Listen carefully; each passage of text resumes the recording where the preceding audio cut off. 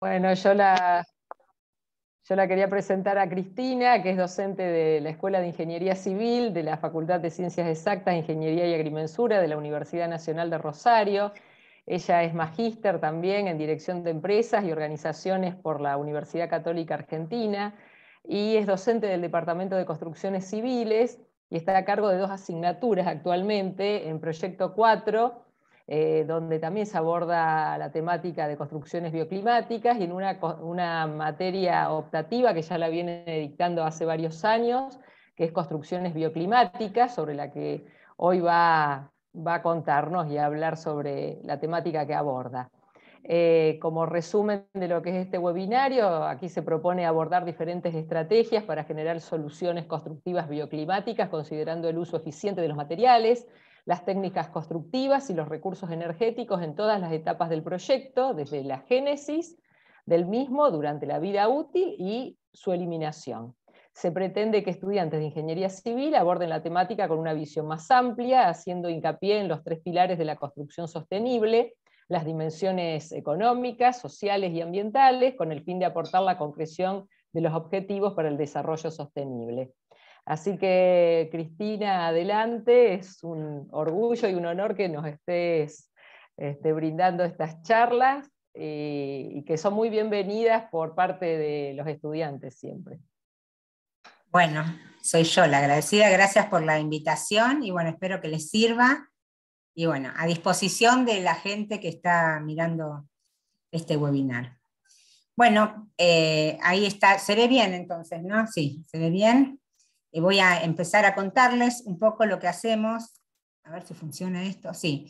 Eh, la asignatura que, yo dirijo, que es Construcciones Bioclimáticas, bueno, contarle un poco lo que vos dijiste, que es una materia optativa, y se dicta en los últimos años de la carrera de, Ingeniería Civil, es decir, que las y los estudiantes son eh, chicos y chicas que eh, están a punto de recibirse, ya casi, yo es lo que les digo a mis estudiantes que ya casi son, casi son ingenieros. Entonces, em, desde ese lugar empezamos a mirar eh, eh, la materia y bueno, y empezar a entender qué es una construcción bioclimática, y esto un poco lo que dice ahí, es el diseño y construcción de un edificio, tomando en cuenta las condiciones climáticas de la zona, ¿para qué? Para aprovechar los recursos naturales y disminuir el impacto ambiental y el consumo de energía. Eso en pocas palabras es lo que eh, tratamos de trabajar.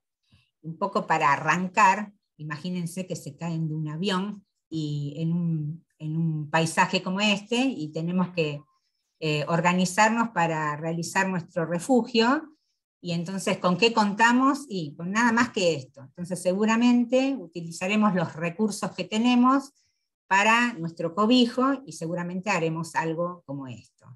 O si estamos en otra zona, como este, como nuestro litoral, no por eh, el, litoral donde hay, eh, hay inundaciones cada tanto, regularmente el, río sube, entonces las eh, construcciones en esa zona, las viviendas se construyen sobre estos palafitos para justamente resguardarse de ese, de ese nivel de río que sube y baja. Entonces, el, las condiciones de la zona hacen que la arquitectura sea de una manera o de otra.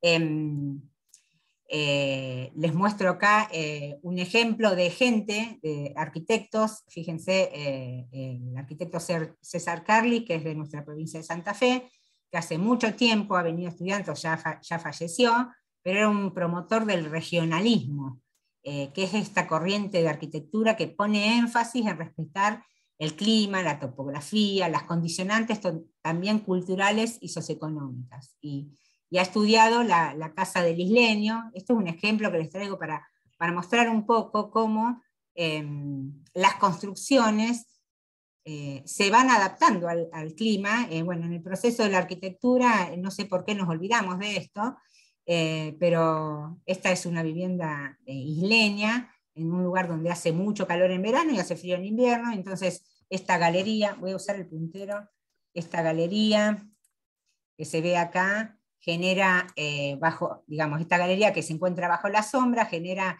ventilaciones eh, cruzadas con aire fresco, y en la habitación para resguardarse del frío en invierno. Eh, un poco para mostrar de qué estamos hablando de esto de la arquitectura, que es la arquitectura bioclimática, que no es nada nuevo. Eh, la asignatura se dicta en un proceso de enseñanza basado en competencias y se trabaja sobre los tres factores inherentes a este proceso, que es el ser, el saber y el saber hacer. Empezamos por lo que es el saber, que es el conocimiento, la capacidad de internalizar los conocimientos, pero a la vez trabajamos también sobre el saber hacer a través de trabajos específicos, sobre proyectos en donde el estudiante pueda em, realizar la práctica y demostrando el dominio de las técnicas y de los métodos que vamos aprendiendo. Pero también es muy importante el tema de las actitudes y los valores, que es lo que llamamos el saber hacer. Y estos valores y competencias socioambientales apuntados justamente a la cuestión ambiental. Voy a hacer una aclaración, esta es una materia optativa, los chicos eligen ingresar a esta materia o, trabajar en esta materia, entonces creo que de alguna manera ese saber ser, esas actitudes de respeto hacia el ambiente, ya están incorporados, en general por lo menos. Entonces, trabajar desde estos tres saberes para generar un saber integrado y transformar realidades en un contexto económico, social y ambiental, y en un momento que estamos viviendo, que es, yo creo que es un momento bisagra a nivel planeta, en donde vamos a tener que, si bien siempre lo hemos tenido que tener en cuenta, estamos en un momento donde no podemos apartarnos de ese contexto, sobre todo socioambiental.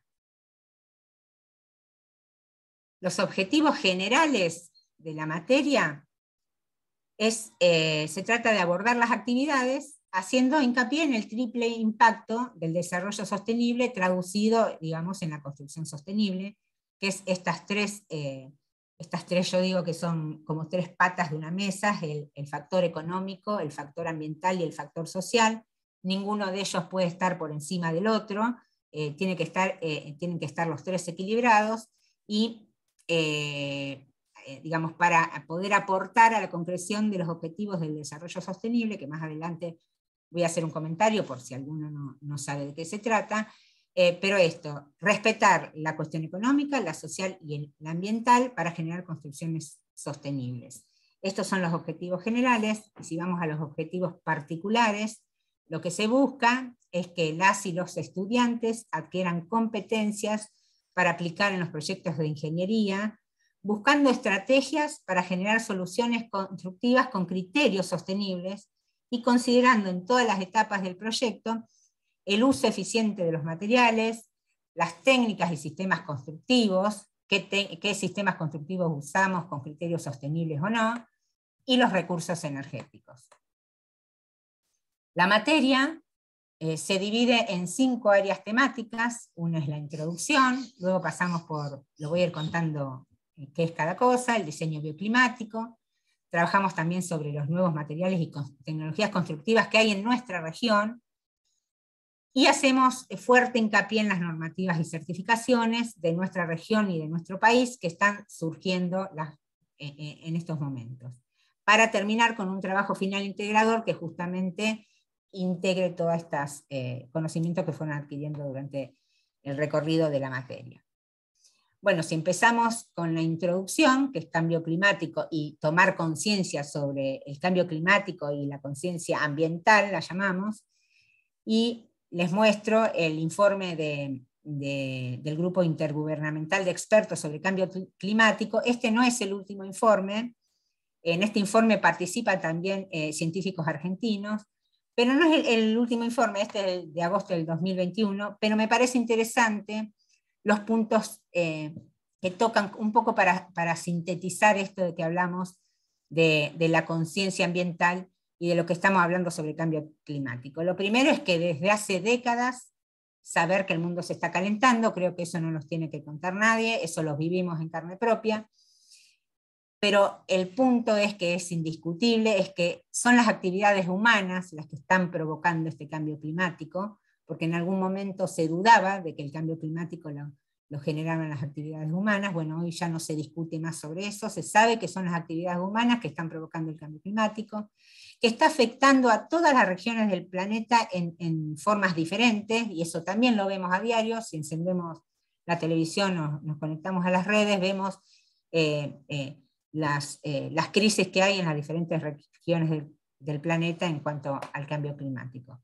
El otro tema, que me parece uno de los más graves, es que no hay vuelta atrás en algunos cambios en el sistema climático, si bien se pueden ralentizar muchos, pero ya no hay vuelta atrás. O sea, por eso hablo de un punto bisagra, en donde ya eh, hace unos años decíamos tenemos que reaccionar, y, ahora ya estamos como, venimos más atrás.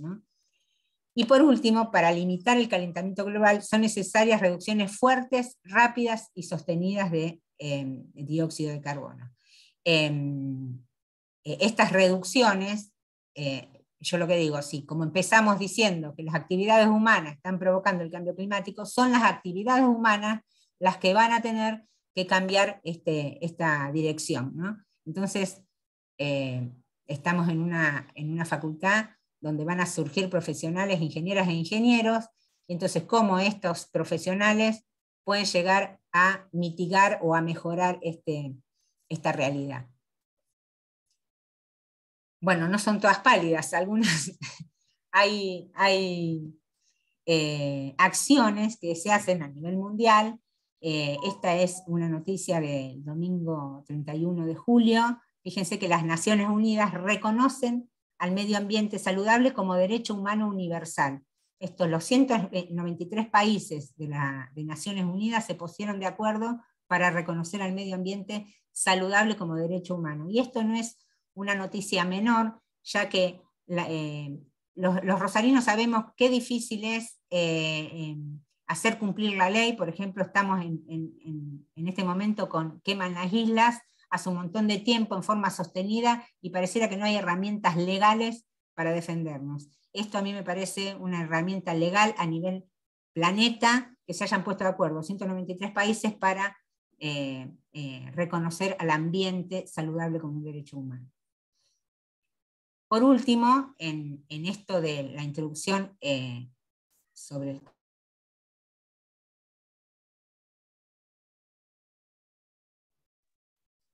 había apretado sin querer el, micrófono.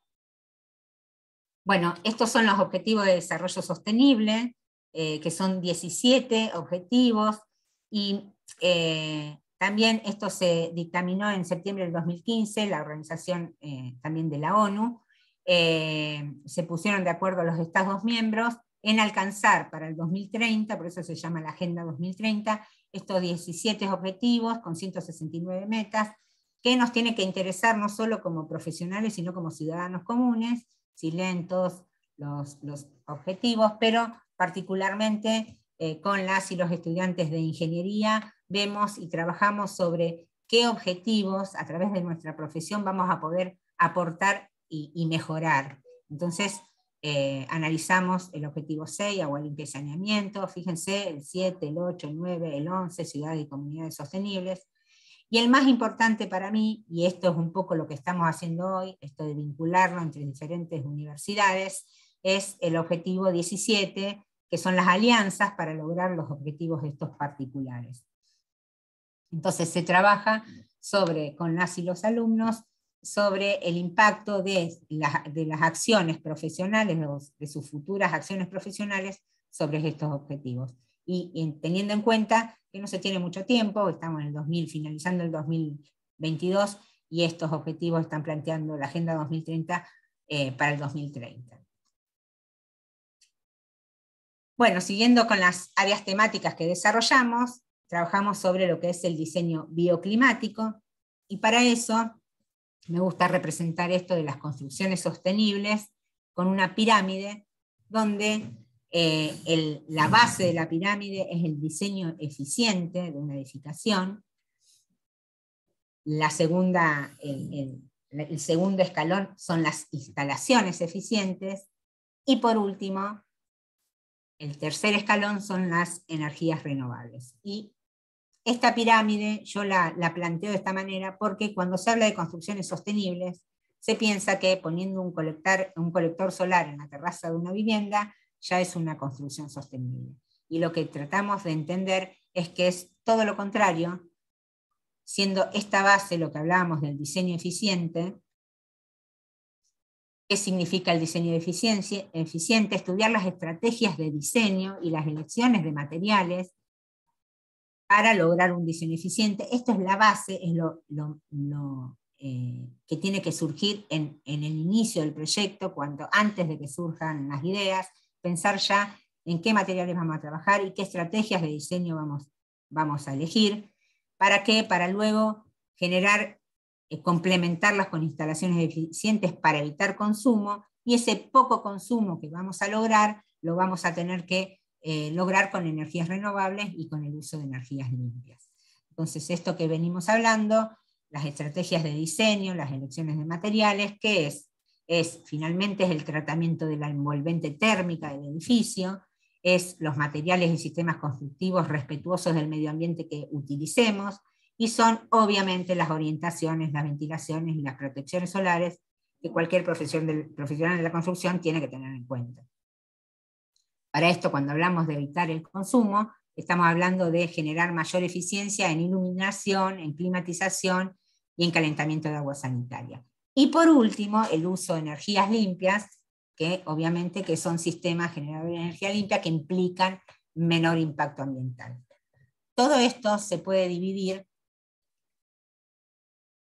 en eh, la base, esta base de diseño eficiente es lo que llamamos nosotros sistemas pasivos y lo que son las instalaciones y las energías renovables son los sistemas activos.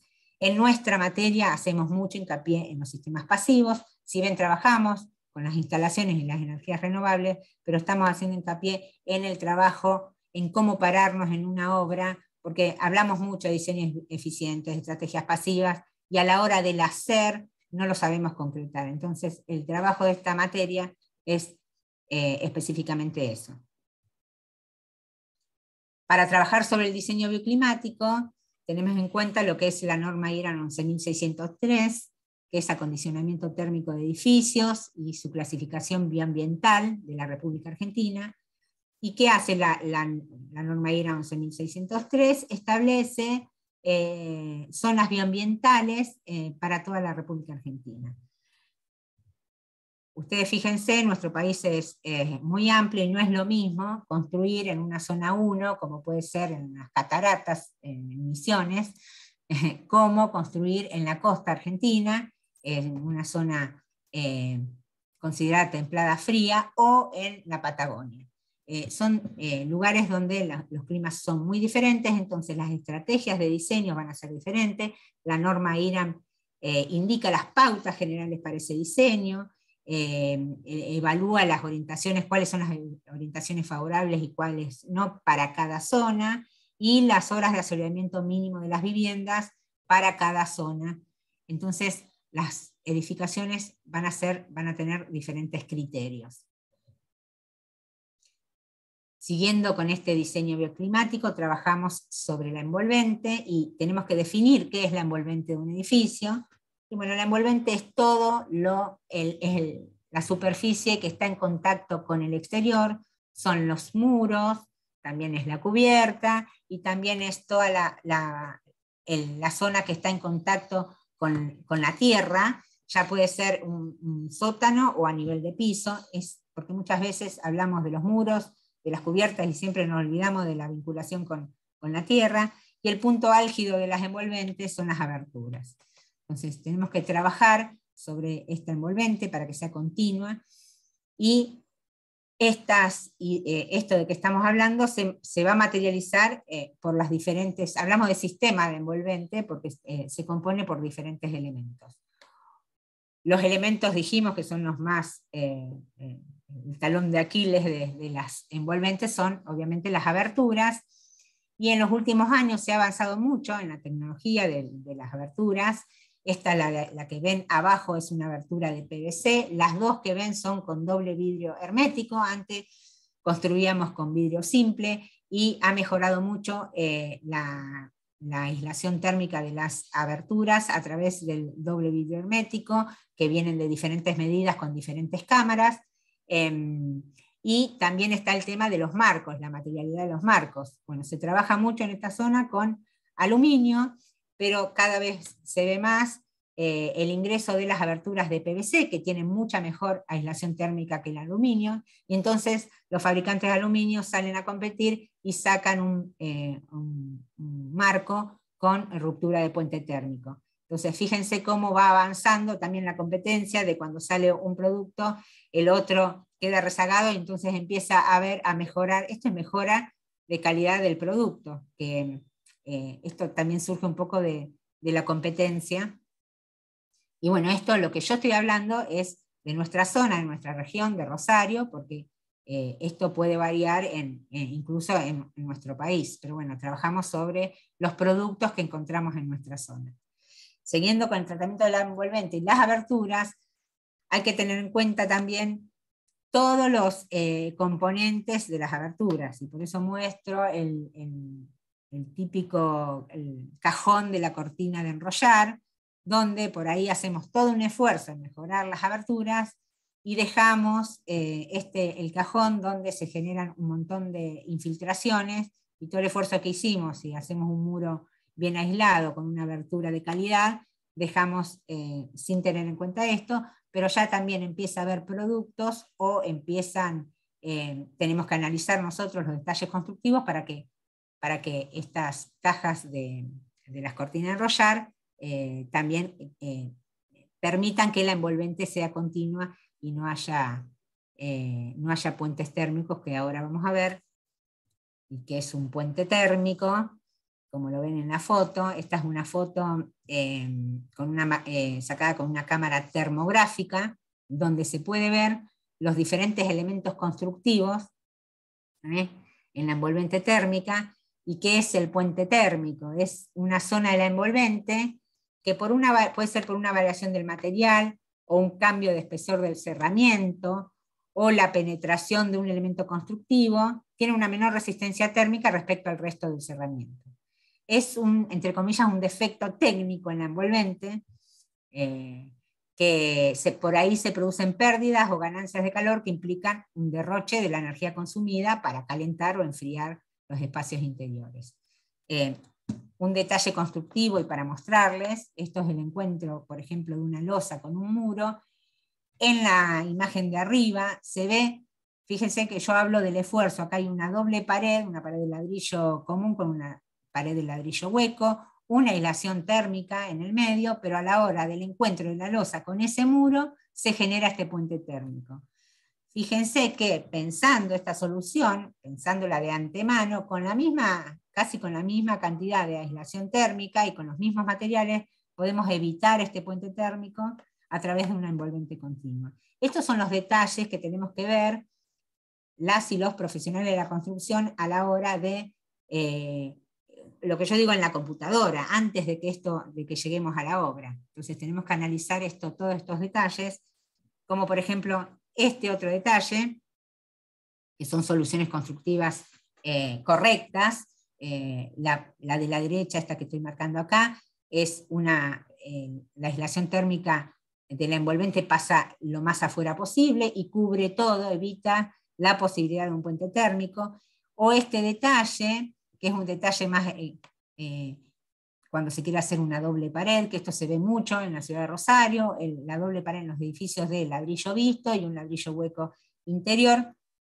Entonces, ¿cómo podemos hacer ingenieras e ingenieros desde la cuestión estructural, desde el cálculo y el diseño de esta estructura, para que podamos, nos puedan permitir poner una plancha de EPS de este lado, otra plancha de EPS acá, sin dejar de tener en cuenta que por acá va a seguir habiendo puente térmico, con lo cual vamos a tener que aislar esta zona y esta zona. Bueno, estos son los estudios que hacemos en la, en la materia, en los trabajos de la materia. Por último, otro punto conflictivo es el en el tratamiento de la envolvente y los puentes térmicos, son los balcones. Este es un trabajo de, estudiantes de Proyecto 4, que fueron estudiantes míos que hicieron un trabajo final, donde hicieron un edificio y tuvieron en cuenta estas, estas cuestiones. Fíjense el puente térmico que origina el balcón y pensar en generar aislaciones térmicas verticales y horizontales en el cielo raso y en el contrapiso para que estos puentes térmicos, eh, para que no existan estos puentes térmicos.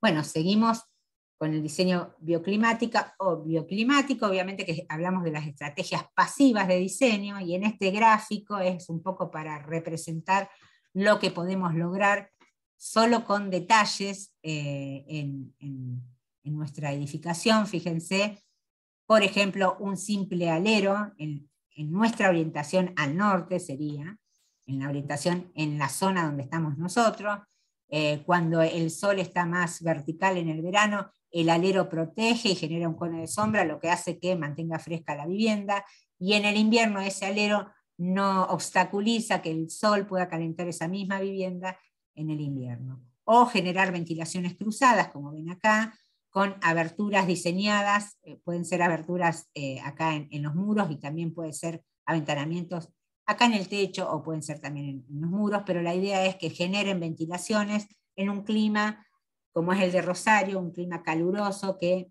eh, un lugar con sombra y con ventilaciones cruzadas puede mejorar mucho en el invierno, en el verano, en el calor del verano.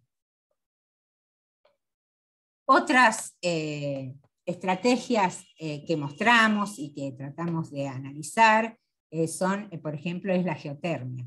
Este es un ejemplo donde esta serpentina, donde circula aire a un nivel eh, a menos dos metros del nivel de suelo.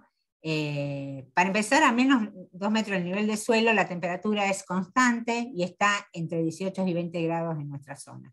Entonces, ¿qué se hace con esa serpentina? Se genera circulación de aire, se inyecta aire y eh, se inyecta a la vivienda a través de estos eh, a través de un, puede ser a través de un motorcito que consume mucha menor energía que, por ejemplo, un aire acondicionado, y logramos que en un clima como Rosario, que en verano hace 35 grados de calor, inyectar aire a 20 grados, o en invierno, cuando hace, eh, en el exterior hay 0 grados, eh, inyectar aire a 20 grados genera condiciones, si tenemos que llegar a 24 grados hay que levantar solamente 4 grados y eso ahorra energía y además es, eh, eh, es, mucho más económico. Primero, ahorra, no solo ahorra eh, económicamente, digamos, sino también en la cuestión ambiental este sistema.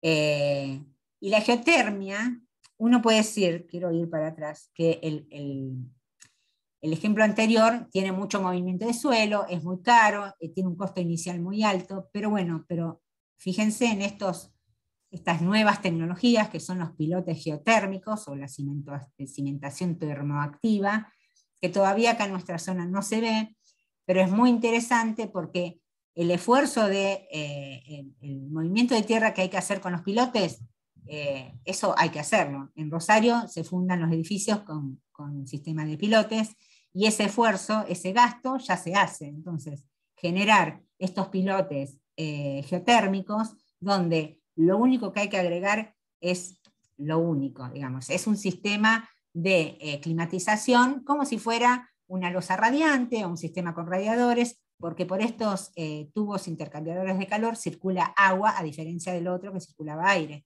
Entonces, podemos generar estos sistemas y, traigo fotos para que vean que en, eh, en otros lugares del mundo se hacen estas cosas. Esta imagen podría ser la imagen de Rosario, porque esto se ve en nuestra ciudad, nada más que eh, incorporar el tema de la cimentación termoactiva. Fíjense que es eh, incorporar solo una manguera por donde circula agua y después estará todo el sistema de climatización pero es muy simple eh, la tecnología. Entonces, yo pretendo que las y los estudiantes que salen de esta materia, si alguna vez tienen la posibilidad de actuar, piensen que existen estas cosas, que investiguen, que sean curiosos. La idea de, la cátedra es ser como disparadores para que, para que les genere curiosidad y salgan a investigar este, todos estos sistemas nuevos que van a aportar un montón al, digamos, al, tema de climatización pasiva. Esas eran tecnologías nuevas, pero también hay tecnologías, estrategias pasivas eh, antiguas, eh, o que hace muchos años que se usan, se usan en lugares en el norte de nuestro país por ejemplo, el murotrombe, que uno ve en, viviendas de barro muy precarias, que lo que se ve es el murotrombe, que es la única forma de calefaccionarse que tienen en el norte, muchas veces en, algún paraje, uno cuando va en el camino ve alguna casita aislada y muchas veces, si se ponen a observar, se calefaccionan solamente con el murotrombe. Y este, este, esta tecnología puede ser incorporada a la, nueva arquitectura, entre comillas. Entonces, la idea es que pensar estos sistemas pasivos, económicos, simples, traerlos a las construcciones que, vamos a desarrollar. La tercera eh, eh, área temática que trabajamos son los materiales y las tecnologías constructivas, los nuevos materiales y tecnologías constructivas, y analizamos el impacto ambiental de los materiales de construcción y analizamos el ciclo de vida. Entonces, analizar cada vez que elijamos un material o que tengamos que decidir sobre un material, el ciclo de vida de estos y también de los edificios, ¿eh?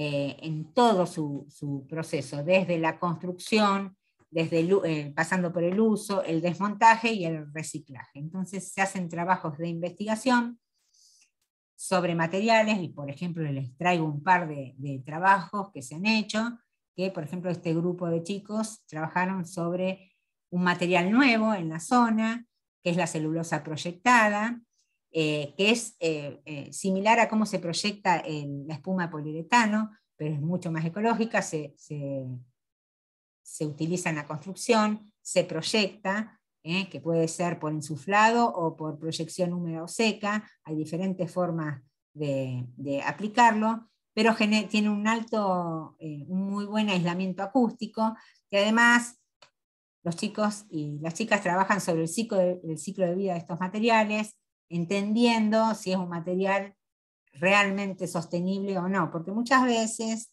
eh, y esto en, los nuevos materiales, surgen nuevos materiales, y los folletos de los nuevos materiales muchas veces hacen trampa y no indica la realidad de ese material. Entonces, estas investigaciones y este pararnos en una posición crítica, no creernos todos los que nos dicen los fabricantes y empezar a ir un poquito más allá, a investigar y, por eso investigar todo el ciclo de vida, el ciclo, la fabricación, si es un material reciclado, de dónde viene ese material reciclado, porque me contaban que muchas veces eh, se compran materiales reciclados y que vienen del otro lado del planeta, con lo cual este transporte hace que ese material reciclado sea mucho más, eh, tenga una carga energética mucho más alta que otro material.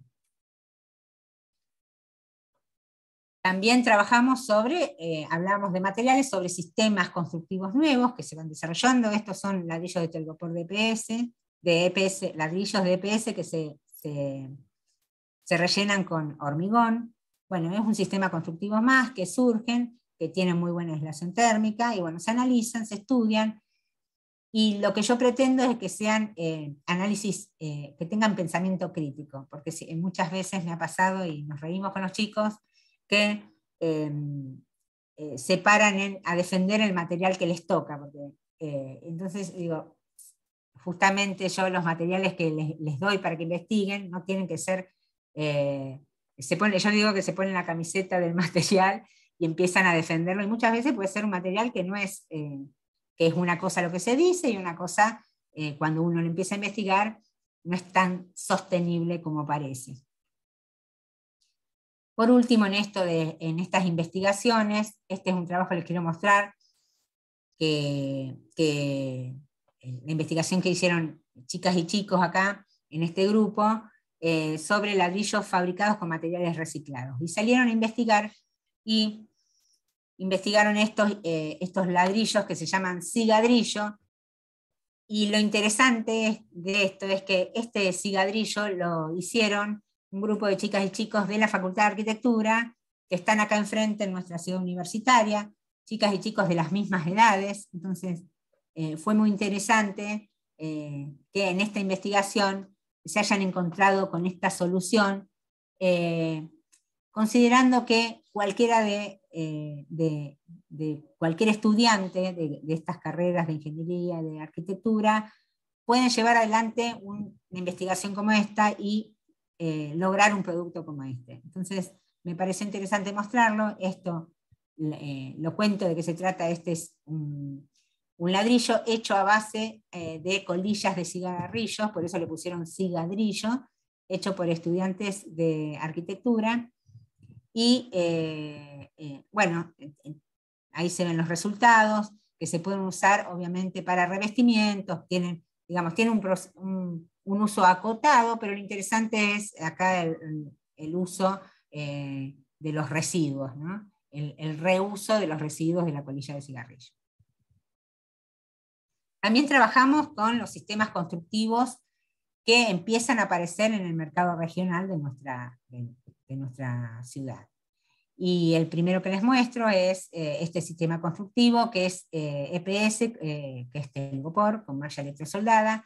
Entonces estos son paneles de telgopor de entre 10 y 12 centímetros que a cada lado llevan unas mallas que están electrosoldadas, que, que, están vinculadas entre sí también, de cada, cada, lado, digamos que la malla también atraviesa, atraviesa el telgopor y se vincula la, malla interior con la exterior, y luego se hace un gunitado, un proyectado de hormigón, eh, y eh, redunda en una construcción que tiene muy buena aislación térmica, que no tiene puentes térmicos, y que finalmente, cuando uno lo ve, no registra que eh, este, el sistema constructivo pues se revoca y queda igual que cualquier construcción tradicional. Tiene elementos como aquí ven, el elemento escalera, que es muy interesante porque eh, eh, colocando el, panel escalera y hormigonándolo en un día eh, tenemos resuelta la escalera de una vivienda, con lo difícil o con el tiempo en, la construcción que lleva a hacer una escalera de hormigón, tiene muchos pasos y mucho tiempo de espera. Esto en un, en, un día solo o en dos días se realiza la escalera. Esto tiene que ver también con eh, lo interesante de esto también es evitar los residuos. Estos paneles eh, uno puede calcular y eh, mejorar, evitar la cantidad de residuos en obra y el uso racional de los materiales. También hablamos sobre steel frame o construcción en seco, que si bien está muy desarrollado en otros países del mundo, todavía acá está apareciendo, pero no es tan común, por lo menos en nuestra zona, ya hay, hay, y lo que tiene la construcción en seco que mejora también eh, el tema de la aislación térmica y evita los puentes térmicos, entonces es una construcción muy interesante, es rápida, y bueno, hay que evaluar todavía los costos, eh, pero, pero bueno, es, es, una construcción interesante para, para analizar. También hablamos sobre, en esto de apuntar a la reducción de, desperdicios, en sistematizar y modular. Eh, esto lo que les muestro acá es, construcción modular y como trabajamos sobre el tema de vivienda también, el tema de vivienda con la demanda de vivienda que hay en Argentina, eh, esta es una posibilidad de, eh, cumple con los tres, los tres factores, lo económico, lo social y lo ambiental porque el industrializar baja los costos, el sistematizar baja los costos. En, la cuestión social podemos desarrollar un montón de, productos en poco tiempo. En la cuestión ambiental, evitar eh, o reducir los desperdicios también es, muy interesante. Entonces, estas construcciones, cómo empiezan a cumplir con los tres objetivos que nos proponemos. Otro, otro material que vemos es eh, otro sistema constructivo, es eh, a base del mampuesto de hormigón celular curado por autoclave o llamado HSCA, que es un mampuesto. Acá en nosotros en nuestra zona está la construcción tradicional, la gran mayoría de las, obras o de las viviendas se hace con construcción tradicional. Y bueno, esto es un mampuesto que sigue siendo construcción tradicional, para lo cual tenemos mano de obra, porque también una cosa que, es difícil de encontrar es cuando generamos sistemas constructivos nuevos, hay que formar a la gente y muchas veces el hecho de que la gente no esté formada eh, terminan en soluciones eh, de, bajas calidades. Entonces, esto es un manpuesto, con lo cual acá tenemos mucha mano de obra para, para poder ejecutar con manpuesto, pero este manpuesto tiene está conformado por este, por este hormigón celular que tiene muy buena aislación térmica y mejora también, eh, con este sistema se pueden evitar puentes térmicos y generar una envolvente continua, lo que mejora la aislación térmica general de la vivienda. Bueno, esto un poco les cuento todos por, por los materiales y tecnologías constructivas que vamos trabajando. Y como les dije antes, hacemos una fuerte hincapié en las nuevas normativas y certificaciones que surgen, eh, eh, que empiezan a entrar eh, en vigencia en el ámbito regional y nacional en Argentina. Y para eso un poco hay que entender desde qué lugar hablamos. Empezamos a hablar sobre la, la energía primaria en Argentina. Fíjense que eh, estos son datos eh, del, Ministerio de Energía, como en Argentina nuestra matriz energética es a base de petróleo y gas natural.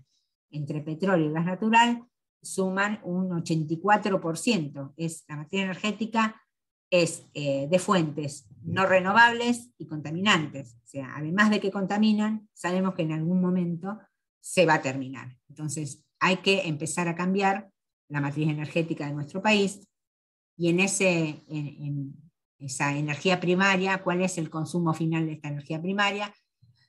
Eh, veamos cómo la, primero el transporte, el transporte un 33%, que eh, eh, da para hablar en, otros, en, otra, en otro webinar de transporte solamente, pero siempre hablamos de esto de los materiales, de dónde vienen los materiales, el peso del transporte de esos materiales, eh, cómo pueden afectar a la carga energética de, nuestra, de nuestra, construcción, digamos. ¿no?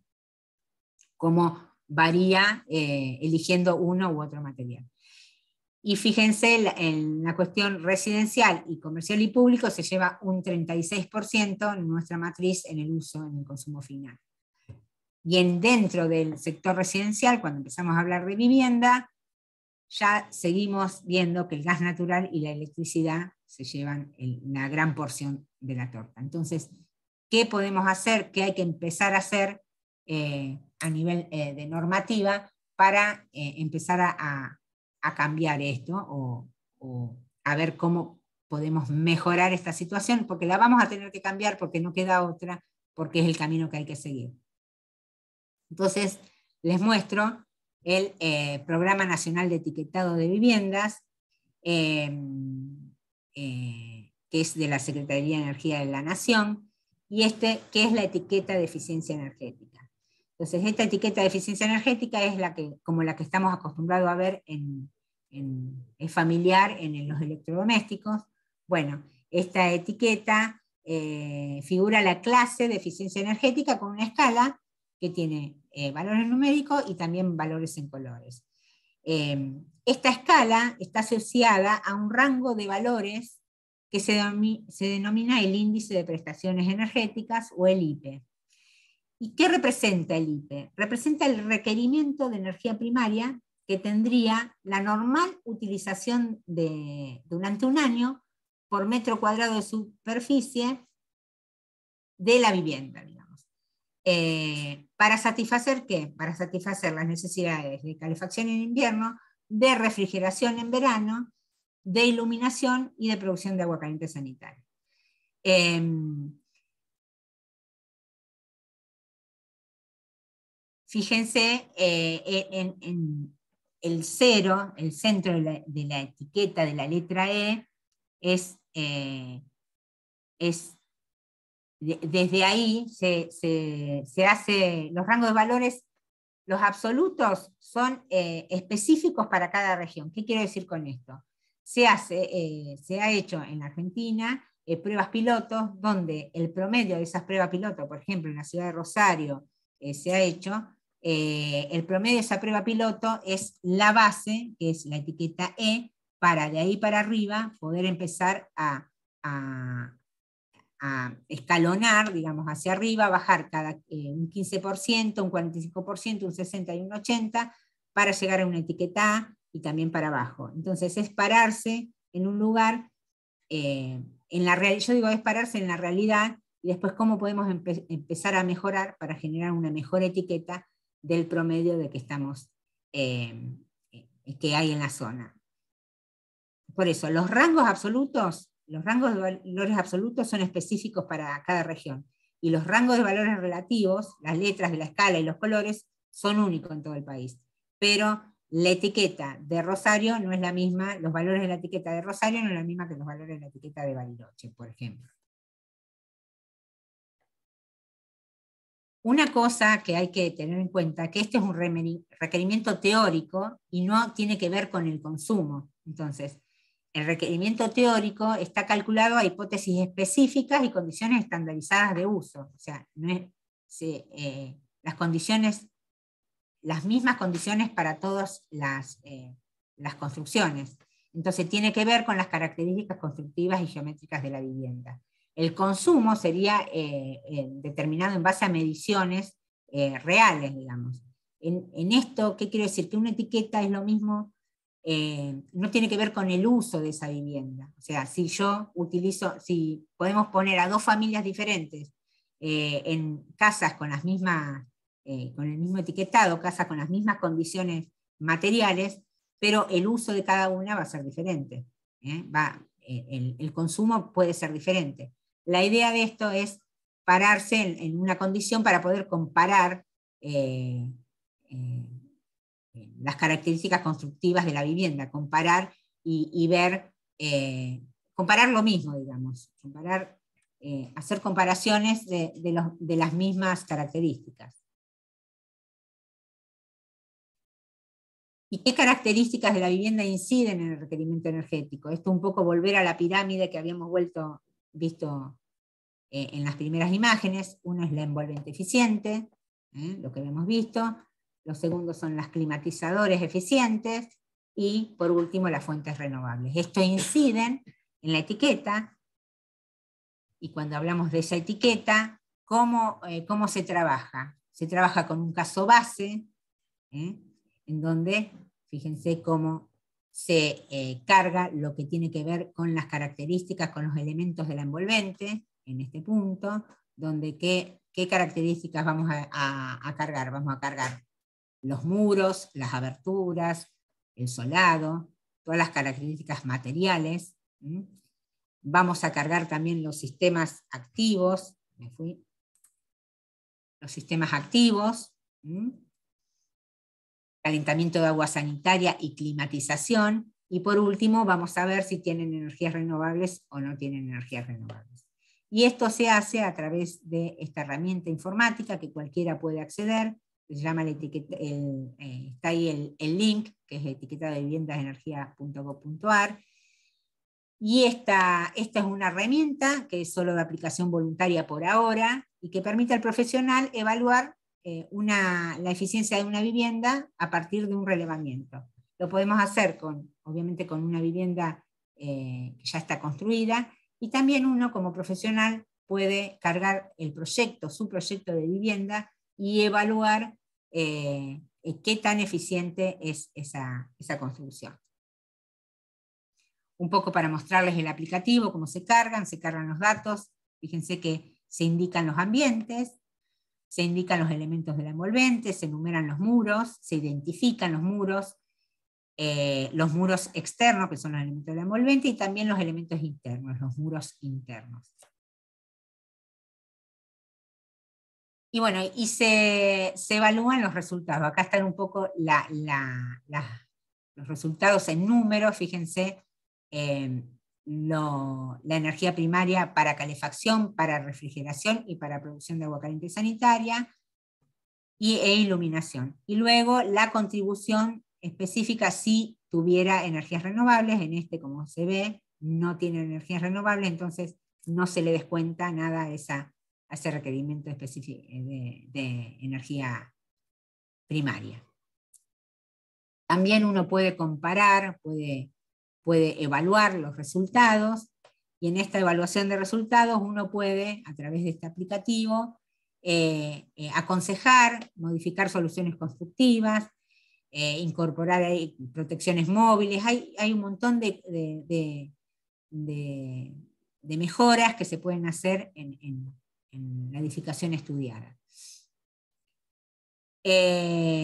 este, el etiquetado, eh, ya se han hecho eh, algunas experiencias, como las que ven, se han formado profesionales para, como certificadores, porque no puede cualquier persona certificar una vivienda, hay que formarse, estos tienen que estar formados por certificadores en donde ahí se ven, en, el país ya hay eh, bastante profesionales, falta mucho por hacer, pero ya se empezó a formar a profesionales y se han hecho eh, pruebas pilotos y se han eh, etiquetado las viviendas que se ven ahí en, el mapa. Bueno, hablamos de etiquetado de viviendas y también hay una nueva normativa que todavía también es de aplicación voluntaria, que es la calificación etiquetado de carpintería de obra. Eh, tiene las mismas características, es una etiqueta donde em, se divide el país en, eh, acá son zonas climáticas, solo en cuatro zonas climáticas, y tiene la etiqueta, tiene una clasificación energética para periodo de calefacción y para periodo de refrigeración.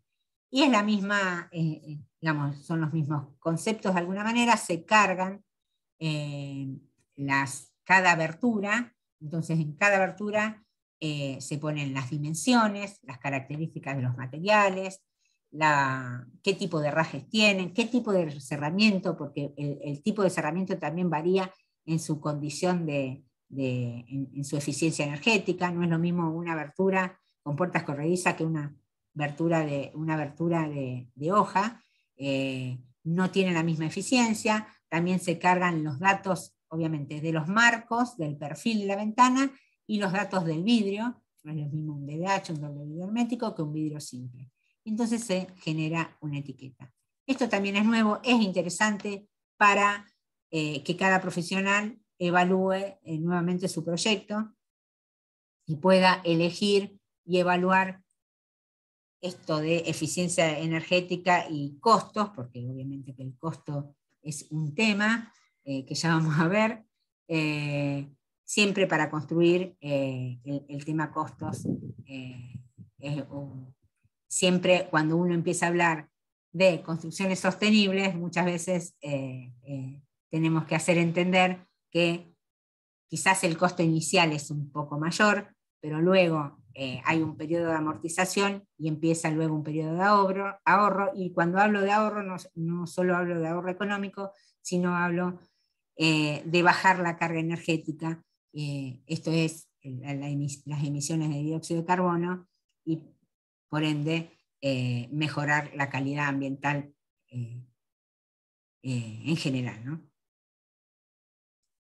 Si seguimos con las normativas y certificaciones, eh, trabajamos sobre la nueva ley provincial que tiene la, provincia de Santa Fe, que fue sancionada en el 2019 y ha sido reglamentada hace poco, y es la implementación a nivel provincial de esto, de,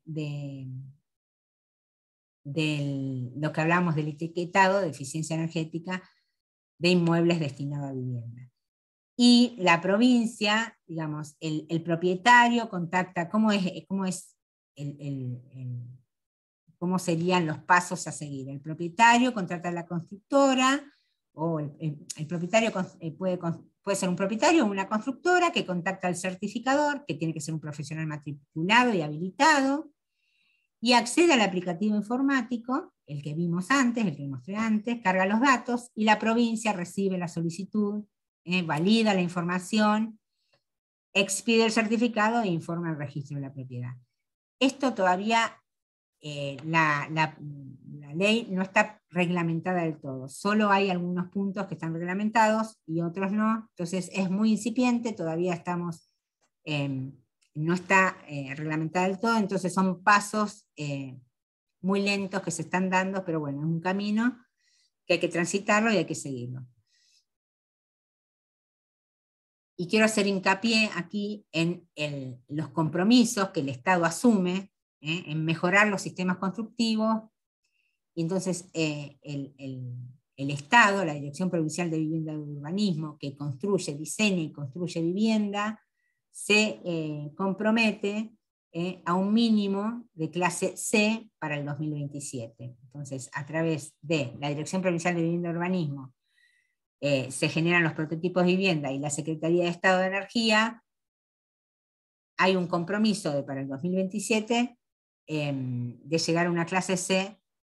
Falta mucho, porque todavía el tema de vivienda social en la, en la ley que, que fue promulgada y reglamentada hace poco, todavía en, marzo del 2022 todavía no se reglamentó esa parte, pero bueno, este es el compromiso pautado, veremos cuándo se cumple. Y siguiendo con las normativas y certificaciones, también trabajamos sobre la ordenanza 8757, que para el que no sabe hay una ordenanza que está en vigencia en Rosario, en nuestra ciudad, desde el 2011, eh, y que trabaja sobre esto, sobre los aspectos hidrotérmicos y la demanda energética en las construcciones. No está eh, promulgada la, ordenanza completa, sino hay eh, está promulgada solo una parte, se trabaja con, con solo una parte de la ordenanza, pero ya está en funcionamiento para edificaciones de más de 300 metros cuadrados y estas son eh, las condiciones que si uno tiene que construir en la ciudad de Rosario, eh, tiene que presentar eh, documentación que avale que en la envolvente, si vemos la tabla 1, para los techos, la transmitancia térmica no debe ser mayor de 0,38 vatios metro cuadrado Kelvin. Em, eh, para los cerramientos verticales opacos eh, no pueden superar los 0,74. Y fíjense cómo para las superficies transparentes eh, la ordenanza se, se, pone mucho más exigente cuando las superficies transparentes son superiores al 60%. ¿Esto qué quiere decir? Es que uno, si uno quiere construir con más del 60% una, una fachada que tenga más del 60% de superficie transparente, lo puede hacer. Lo que pasa es que la ordenanza se pone mucho más exigente. Entonces, em, eh, también trabaja sobre los valores máximos admisibles de factor de exposición solar en, para las diferentes orientaciones, y fíjense también cómo eh, no es lo mismo en la orientación norte que la orientación este y oeste o la sur. Todas estas condiciones se tienen que cumplir para poder construir en la ciudad de Rosario para más de 300 metros cuadrados. Esto a medida que pasan los años se, va a ir, eh, se reduce hasta llegar a toda edificación en Rosario, eh, tiene que cumplir con esta normativa.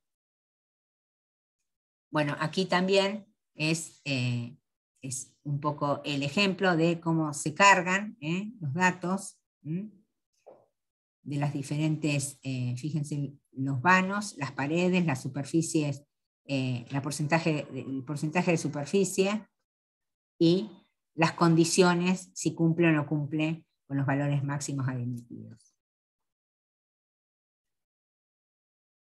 Finalmente, trabajamos con eh, el último trabajo, es un trabajo final, que le llamamos trabajo final integrador. Les traigo un ejemplo de, eh, de un grupo de estudiantes. Trabajamos en general con prototipos de viviendas Em, eh, de, que construye o la provincia o eh, viviendas, eh, también trabajamos con viviendas del Procrear. Este es un prototipo de vivienda que, de la provincia en su momento. ¿Y qué hacemos? los estudiantes ubican la vivienda en un lote real y se analiza esto que hablábamos de la ordenanza, entonces se analiza la envolvente, en este corte constructivo se puede ver la envolvente, y la planilla 1, cómo está analizando eh, la cubierta de techo.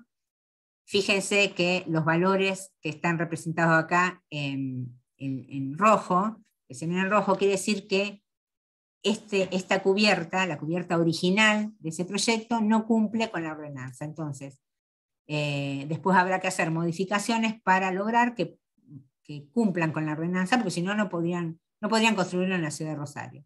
Y la planilla 2 también la, verificación de los muros exteriores, fíjense que tampoco cubre, eh, eh, cumple con la ordenanza. Entonces, las y los estudiantes con su propio trabajo van revisando eh, y van analizando si, si este prototipo, así como lo construye la provincia, lo, está en condiciones, eh, cumple mínimamente con la ordenanza, no la cumple, entonces después trabajamos sobre esas materialidades y, vemos cómo hacemos para mejorar y entonces para poder cumplir con la ordenanza. ¿Qué cambios tenemos que hacer? ¿Qué cambios constructivos? ¿Agregar eh, aislaciones térmicas o cambiar, o cambiar la materialidad? Em, vamos viendo, vamos analizando hasta llegar a, una construcción que cumpla, ¿eh? que podamos, porque esto yo lo que les digo siempre a, los estudiantes es que si nosotros, si esta fuera, tuviéramos que presentarla, si no cumple, no podemos presentar, no podemos construirla. Bueno, una vez que analizamos la, ordenanza, con la misma vivienda eh, hacemos el, análisis del índice de prestaciones energéticas y un poco les muestro cómo es toda la carga de datos. Primero se analizan las zonas térmicas de la vivienda. Entonces acá era una vivienda de planta baja y planta alta, generaban dos zonas térmicas, se, eh, se identifican todas las áreas de la vivienda, se identifican las diferentes, eh, los diferentes muros, los elementos de la envolvente, todas las, paredes exteriores y también los muros interiores y las aberturas. Entonces, todas estas cargas se van cargando, en, eh, esta, se hacen la carga de datos en el aplicativo y se toma, eh, obviamente que el caso base, así como lo presenta la, en este caso es la provincia, se construye de esta manera, con la materialidad que construye la provincia, lo cargamos en el índice de prestaciones energéticas y muchas veces, casi la gran mayoría, eh, vemos que la etiqueta eh, no, no es una buena etiqueta.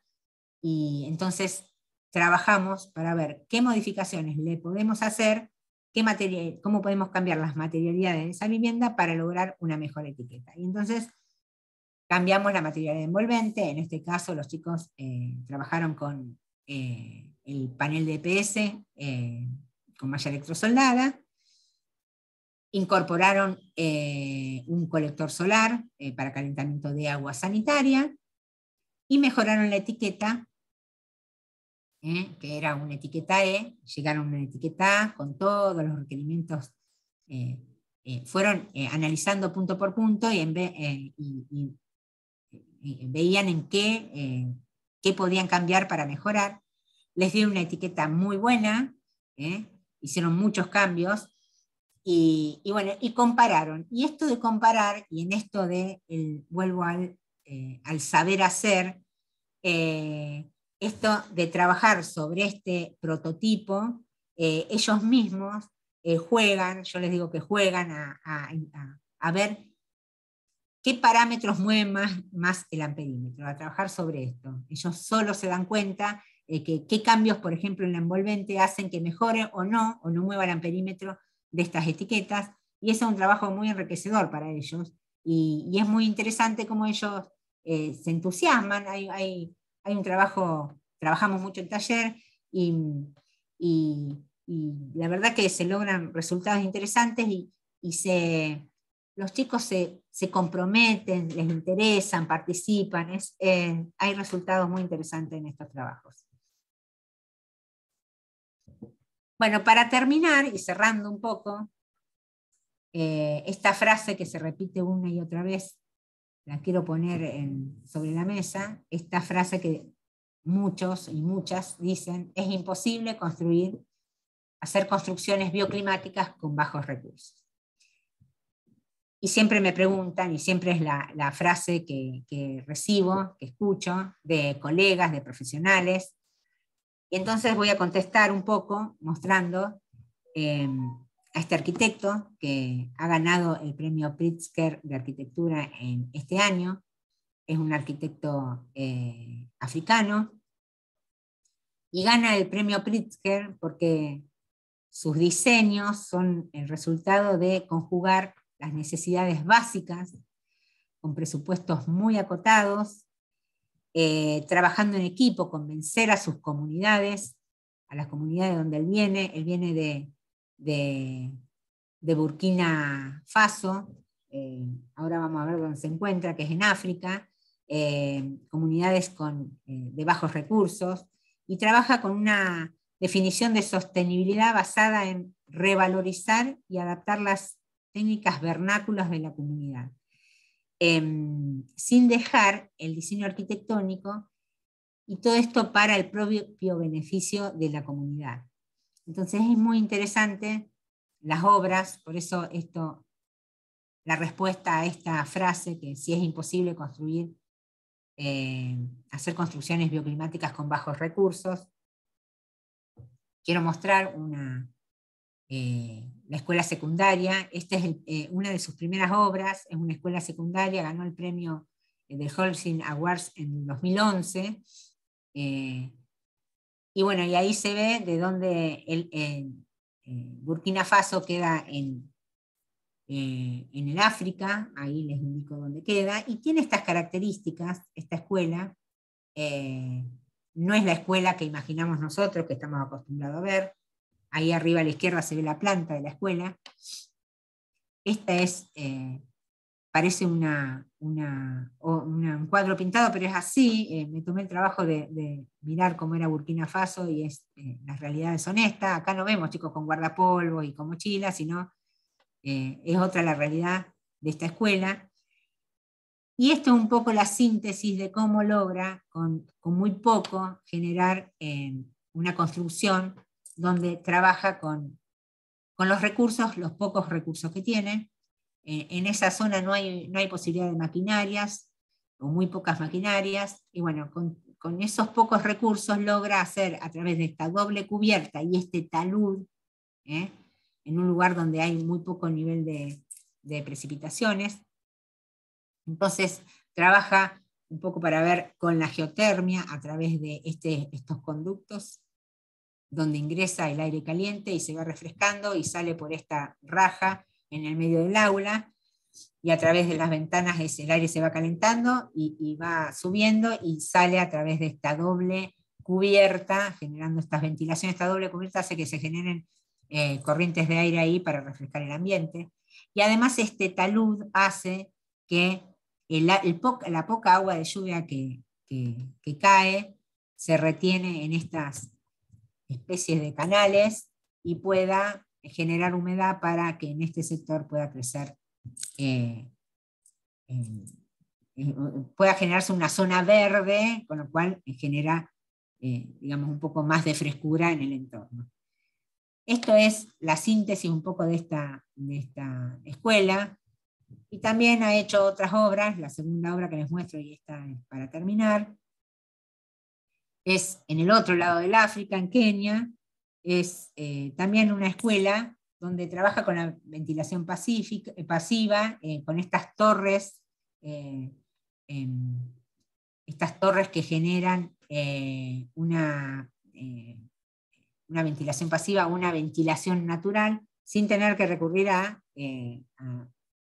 aire acondicionados porque es imposible recurrir a ello, y como trabaja, genera, diseña hasta sus propias aberturas, las aberturas estas que ven acá, eh, son cerradas arriba y, abiertas abajo, de manera de que el aire fresco que entre ingrese por abajo y circule por todo este edificio. Estas son situaciones que permite que el aire circule, estos detalles son detalles constructivos que habrá que ver entre ingenieras, ingenieros y arquitectas y arquitectos, trabajar estas cuestiones para poder generar este tipo de soluciones.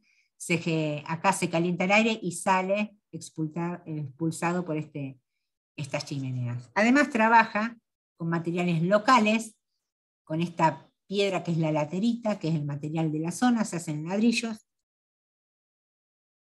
y se trabaja sin maquinaria, porque no existe maquinaria ahí, eh, se trabaja en condiciones que uno, eso también hay que ser crítico, no son las condiciones laborales que uno quiere eh, que, el trabajador tenga, pero bueno, trabaja con las realidades que se le presentan, él es originario de ahí, es el primer, eh, la primera persona que eh, de, su paraje, porque no es ni, una, ni, un pueblo, es un paraje de donde surge Francis Queré, es el primero en ir a la escuela, eh, y a través de una beca para, hacer carpintería, fue a Inglaterra y después pudo, eh, estudiar eh, arquitectura en Inglaterra y volvió a su, a, su, a su, paraje natal y a su comunidad para devolverle de alguna manera todo lo que él había, había podido estudiar, ¿no? Y trabajar, y nadie más que él entender esta, estas características de esta comunidad y,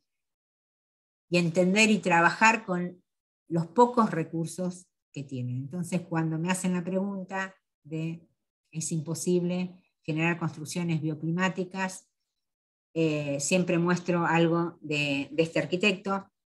Y para cerrar, y termino con esto, quiero leer una frase eh, de Francis Queré, que dice que la arquitectura consiste en crear espacios para conectar a la gente, de manera que el resultado sea atractivo por cómo se han manejado esos espacios, cómo se han usado los materiales y cómo se han gastado eficientemente los recursos y se ha trabajado con el clima. En lo más profundo, la arquitectura consiste en servir a la humanidad. Resalto ahí que él habla, y vuelvo a hablar de los, de los, tres pilares, cómo se han usado los materiales, eh, tiene que ver con la cuestión ambiental y social también, cómo se han gastado eficientemente los recursos, también con la cuestión ambiental, y cómo se ha trabajado con el clima. O sea, eh, la cuestión económica, eh, eh, utilizar eficientemente los recursos, y la cuestión climática, ambiental, cómo se ha trabajado con el clima. Cierro con esto y bueno, espero que, les haya servido como para... Siempre digo que nosotros no venimos a enseñar nada, sino venimos a, a ser eh, poner sobre la mesa eh, situaciones para que se puedan generar, para que las y los estudiantes eh, les sirva para que lo que hacemos nosotros sean como disparadores de ideas, ya casi profesionales nuestros estudiantes. Bueno, muchas gracias y espero que les haya servido. Bueno, muchas gracias Cristina, realmente te felicito porque fue una ponencia completa, desde, la concientización del cuidado del medio ambiente y demás, este, hasta pasar por las distintas materialidades, eh, la evaluación este, de, la, temperatura y cómo estos materiales que usamos normalmente este, en la construcción por ahí dificultan la climatización, hasta las ordenanzas que conocemos aquí en el país, que se se aplican en Rosario y, las demás provincias que realmente no tenía conocimiento de, eso. Eh, así que, y bueno, y hasta esta última, eh, esta última exposición sobre Francis Queré, que realmente fue muy, muy esclarecedora y, ejemplificadora realmente. Y bueno, y todas las técnicas que, hay en el mundo, que por ahí uno no las conoce y creo que ha sido una buena oportunidad para difundirlas. Este, que, existen, que existen para, mejorar nuestras formas de construir y de, vivir. Así que, bueno, yo les cuento, yo vivo a una cuadra del estadio de Central y va a jugar dentro de un rato, y hay un poco de batifondo por la zona. Así que tengo, tengo un poco de, bullicio, este, pero es eso que se escucha. Así que bueno, este, realmente te felicito y damos este, un tiempo para preguntas o comentarios que quieran hacer, hay un espacio abierto para eso.